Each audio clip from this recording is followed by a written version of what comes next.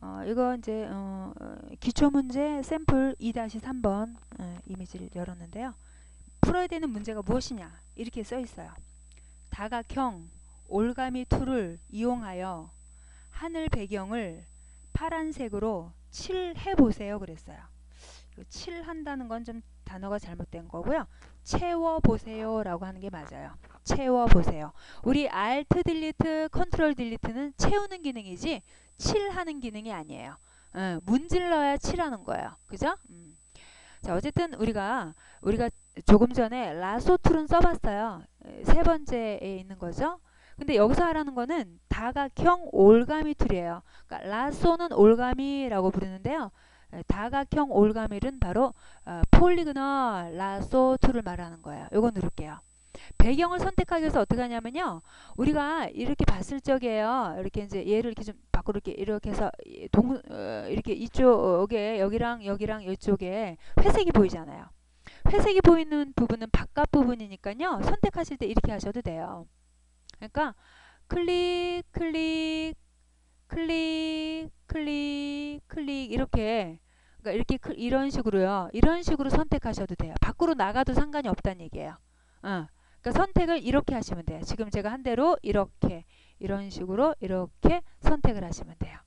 하겠습니다. 클릭 클릭 클릭 연습이니까 너무 정교하게 하실 필요는 없고요.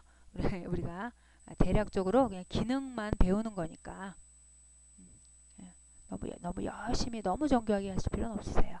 웬만큼만 하시면 돼요. 보기 흉하지 않을 정도?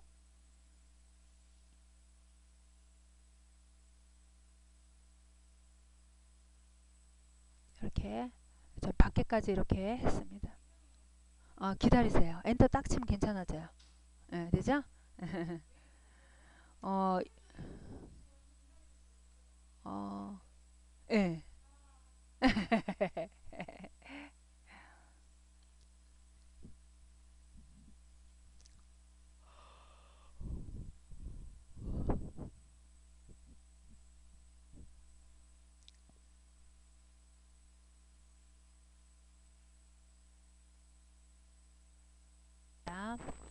자, 그냥 파란색으로 채워보라고 하니까 정경색을요. 어? 정경색을 파랗게 딱 뭐 아주 새파랗게 해놓고요. 정경색 채우기 Alt 딜리트 이렇게 하면 돼요. 음, 얘네가 시키는 대로만 하면 엔터 딱 쳐요.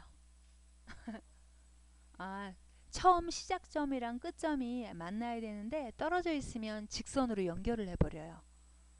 그러면은 컨트롤 누르고요. D 해가지고요. D 다시 하셔야지 뭐 어떻게 방법이 없어요. 자 이제 이번에는요. 어, 이 다시 할게요. 다른 방법으로 또 해볼게요. 어, 이번에는 이렇게 할게요. 음, 배경색이요. 배경색이 단색에 가까워요. 어, 약간 뭐 어둡고 밝은 건 있지만요. 어, 아 근데 좀 어둡고 밝은 것 때문에 좀 그러려나? 아니야 시도를 해봅시다. 어, magic wand tool로 시도를 해봅시다.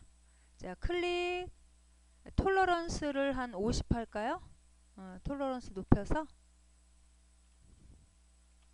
클릭 그 다음에는 Shift 클릭 클릭하는 거죠. 50 하니까 못 쓰겠다. 너무 많이 된다. 못 쓰겠다. tolerance 잠깐만요. 30? 예, 30? 근데 별로 안 좋다. 지금 어떤 부분이 안 좋냐면요. 요 부분이 문제가 좀 있네요. 요, 요, 요, 요, 요 부분 있죠. 요 부분이 우둘두둘해지네요. 그러면 취소하세요. Control D. 자, 다른 기능 이거 써봅시다. quick selection. quick selection이라는 툴이 있죠. 얘는 문지르는 거예요. magic wand tool은 클릭하는 거지만 quick selection은 문질러야 되니까 문지릅니다.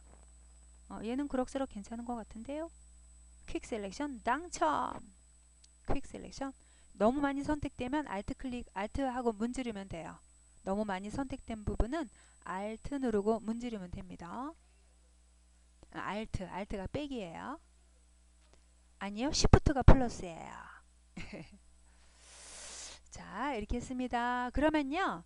완전히 단색으로 채우는 것이 아니고 지금 약간 음영이 있는 걸 최대한 활용하겠다. 그러면 원본도 보호하겠다. 원본 보호하지 않으면 싫다.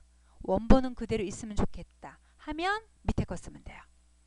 layer adjustment에서 우리가 아까 했던 hue saturation 들어가는 거예요.